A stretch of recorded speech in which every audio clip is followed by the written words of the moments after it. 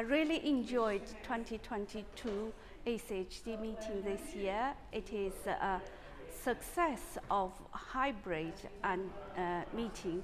We not only can uh, come here to join each other, but for those who cannot, we also can enjoy online and to participate and to have a live discussion with all the delegates.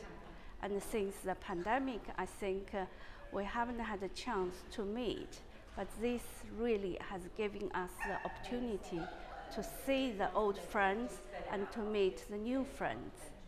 Not only the meeting has a very exciting uh, scientific program, but the social event is so wonderful.